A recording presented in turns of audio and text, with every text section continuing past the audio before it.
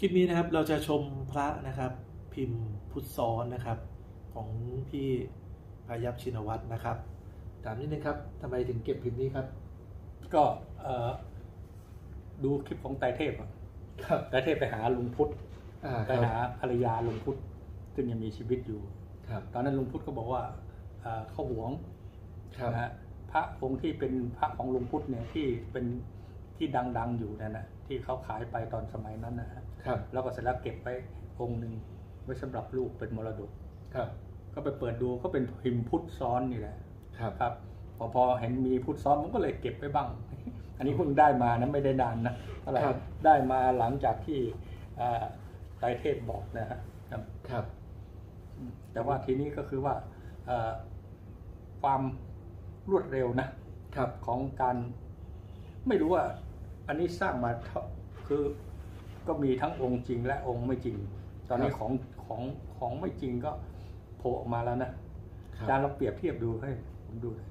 อ่านะครับอ่าอันนี้ต้องให้ทุกท่านดูนะครับว่าของที่พี่พยับมีนะครับ องค์นี้นะครับ มีความแตกต่างอย่างไรกับองค์นี้นะครับ เห็นไหมครับ ต่างกันนะครับ ตั้งแต่คือพุทธซ้อนเหมือนกันแหละแต่ว่าความคมชัดไม่เหมือนกันนะครับ อันนี้คมชัดมากนะครับนะครับ ไม่ทราบว่าทุกท่านดูและชอบองค์ไหนนะครับเดี๋ยวผมจะเปรียบเทียบให้ดูนะครับ อันนี้นะครับอ่าลักษณะนะครับ องค์นี้นะครับ ถ้าเราดูภายนอกนี่อาจจะดูเหมือนสวยสู้องค์นี้ไม่ได้ครับนะครับ แต่ว่ามีจุดสังเกตนะครับ องค์นี้ก็คือว่า ให้ทุกท่านดูตรงนี้นะครับ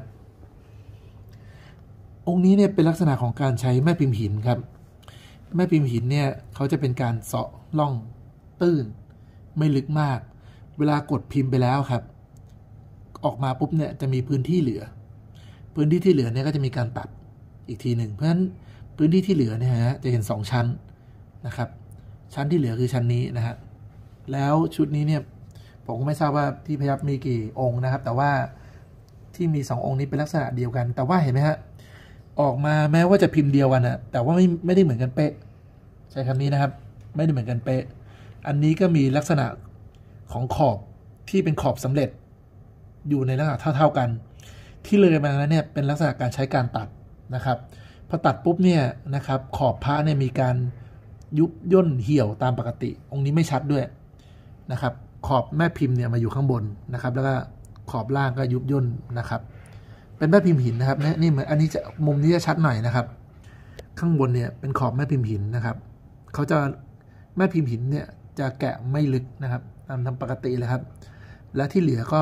เนื้อที่เกินมาก็ใช้การตัด ซึ่งการตัดแล้วแต่เขาจะใช้ตอกก็ได้ใช้ก็ได้เนื้อให้ดูนะครับนี่ลักษณะพระเรียกว่า handmade แล้วกันนะฮะพระ handmade นะครับ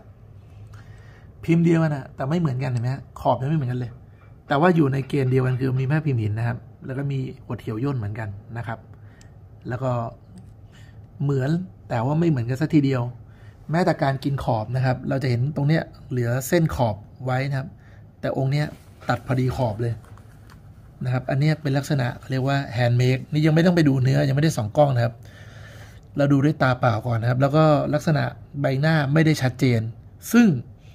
ก็เป็นลักษณะแนวเดียวกับองค์นี้ ที่ของพี่พายัพมีจริงๆ ถือว่าเป็นพุทธซ้อนมีหน้ามีตานะครับ แต่หน้าไม่ชัดนะฮะคือเขามีศิลปะที่เป็นลักษณะเดียวกันคือมีละมีหน้านะครับ แต่ว่าไม่ได้ชัดมากนะครับ เพราะว่าการแกะโดยเฉพาะแม่พิมพ์หินเนี่ยนะครับ ก็ไม่ได้แกะง่ายนะครับ คราวนี้พอเรามาดูองค์นี้นะครับ ชุดนี้นะครับสององค์ เหมือนกันทุกอย่างเลยนะครับแทบจะร้อยเปอร์เซ็นเลยนะครับ หน้าก็เป็นไงครับ สวยชัดมากนะครับ เนื้อนะครับเป็นลักษณะที่ เรียกว่าพยายามจะออกเป็นทางเนื้อที่เรียกว่าเนื้ออ่าโกเดนะครับหรือเนื้อ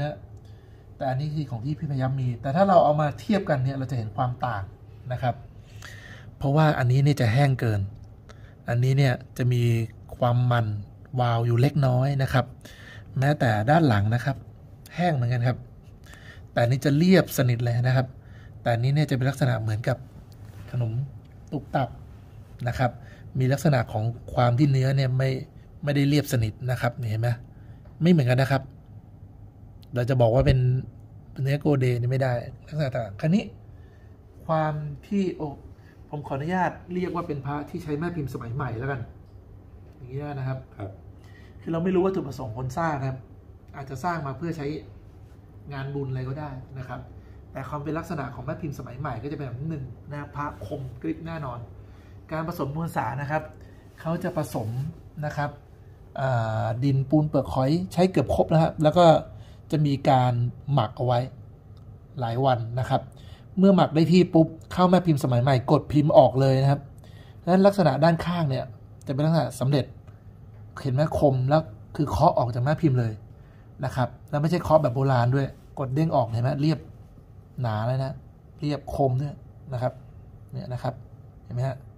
คมทุกมุมเหมือนกันด้วยที่สำคัญนะครับ แล้วก็แห้ง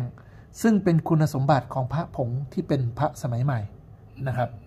ฉะนั้นก็ไม่แปลกครับ พระชุดนี้ก็อาจจะเป็นพระชุดแล้วแต่จะทำบุญทำอะไรก็ได้แล้วแต่นะครับ แต่ว่าเป็นลักษณะเรียกว่าลักษณะการใช้แม่พิมพ์สมัยใหม่ในการสร้างนะครับคราวนี้เราลองดูความต่างครับในที่พายับดูนะ อันนี้เนี่ย จะมีลักษณะของการแตกลายทางโลกภายในนะครับ แล้วก็พระเนี่ยเนื้อในเนี่ยเป็นปูนประขอยมีความมันวาวนะครับ หลายท่านก็อาจจะเรียกว่าเป็นแคลไซต์นะหรือจริง ๆ จะเป็นคราบน้ำปูนนะที่แห้งเกาะผิวก็ได้นะครับ แล้วก็อย่างเงี้ย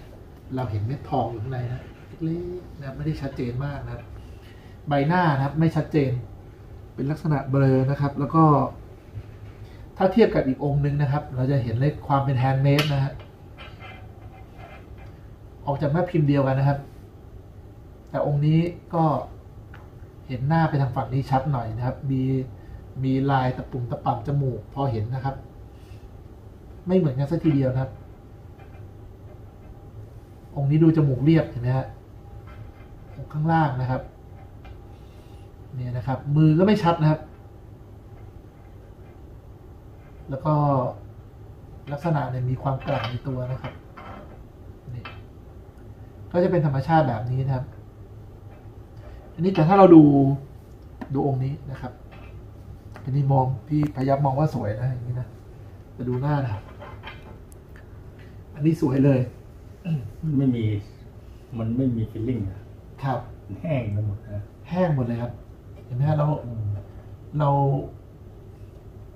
เราหนึบนุ่มเราก็ไม่เจอนะครับ แห้งทีนี้ นิ้วยังชัดเลยนะครับ ครบทุกนิ้วด้วยนะครับ ถือว่ารายละเอียดเนี่ย ดีมากครับถามว่ามวลสารมีไงบ้างครับ ผมก็ว่าใส่ครบนะเพียงแต่ว่าเวลาเราดูอะครับเราต้องดูหลาย ๆ อย่างนะครับ แล้วก็ เนื้อเนี่ยแห้งแบบ แห้งเลยฮะ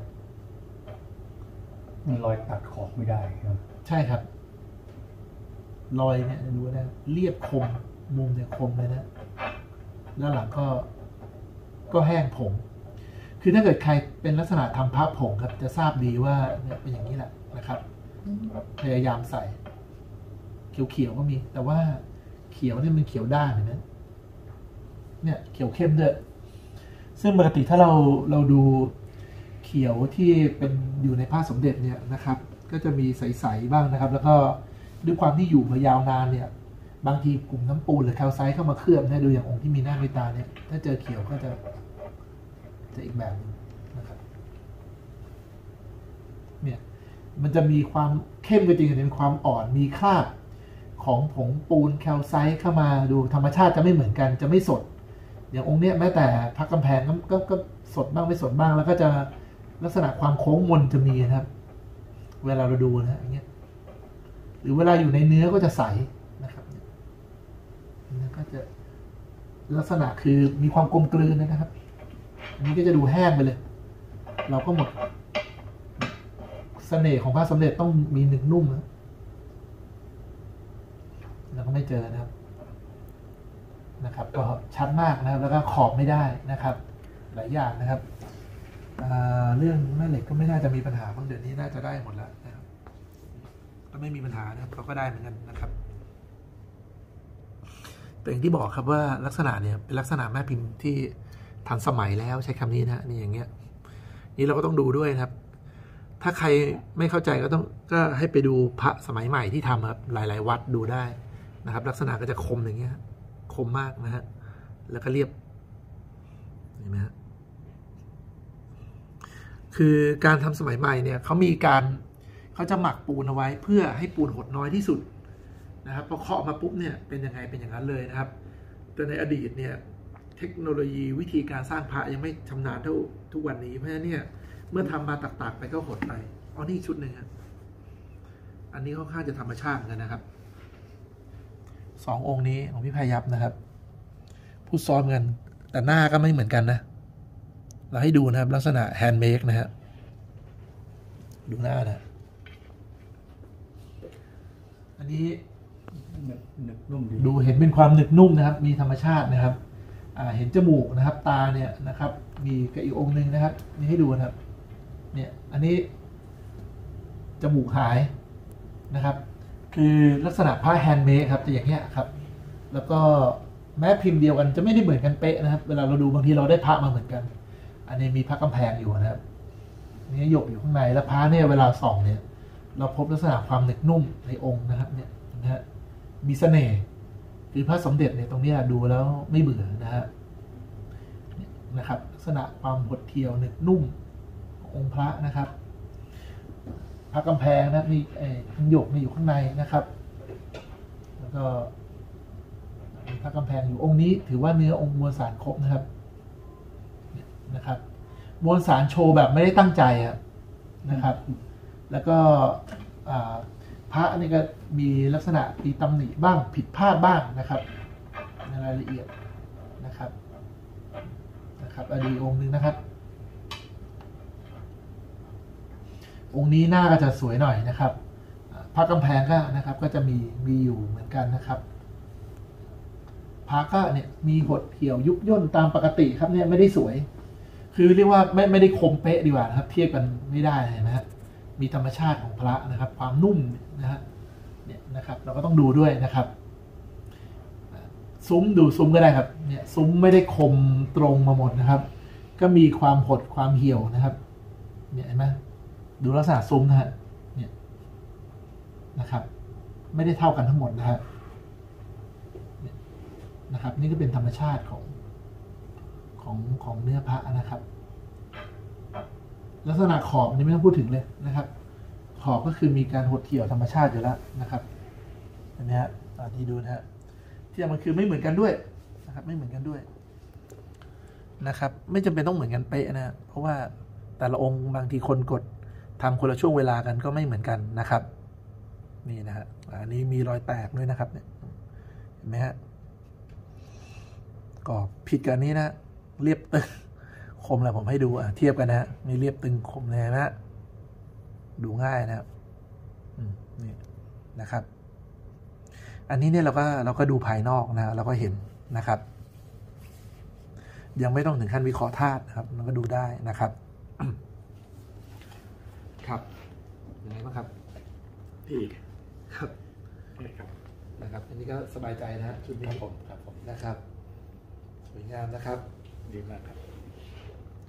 ครับครับ